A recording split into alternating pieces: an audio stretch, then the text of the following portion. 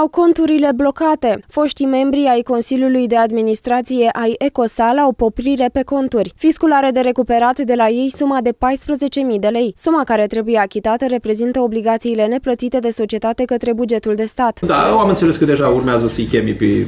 Că înțeleg că fiscul a pus deja uh, mă rog, niște popriri. Noi am primit și o solicitare de la domnii uh, administ- Consiliul de Administrație, ne-au făcut o solicitare la Consiliu. Înțeleg că colegii de la Direcția Juridică vor avea o discuție, o primă discuție cu membrii Consiliului de Administrație și cu directorii de acolo. Practic e vorba de 100, de 14.000 de lei pe care finanțele le au pus sechestru, fiind obligații neplătite la bugetul statului. De fapt, obligațiile cred că sunt undeva la 10 sau la 11.000, diferența fiind penalități, accesorii și așa mai departe. Cei afectați de această măsură sunt Viorel Coman, Lucian Diac Milatinovici, Dorin Birta, Ionuț Cârnu, Narcis Ștefan, Cristian Lazarovici și Mihail Gheorghiu.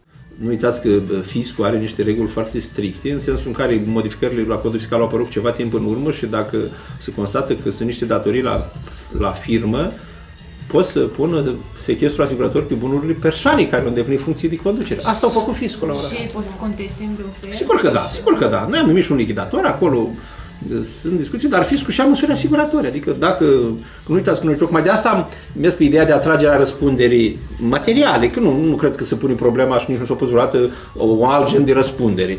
Dar răspunderea materială. Și atunci fiscul zice, domnule, aveți să dați niște bani, nu are firma, mă duc la persoana care o gestiona firma. Despre situația de la Ecosal a vorbit și președintele Alde Botoșani, Dumitru Zmău, făcând referire la unele persoane din cadrul Consiliului de Administrație impuși de fostul președinte al Consiliului Județean Florin Țurcanu. Am văzut că vine plata din urmă și mă uitam la eu, săraci, unde eu băgat. Eu băgat sunt fruct și ceva și de acum dau tot înapoi. Nasol. Ghinion.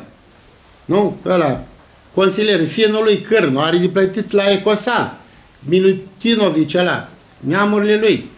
Dar acolo erau săgețile lui toate.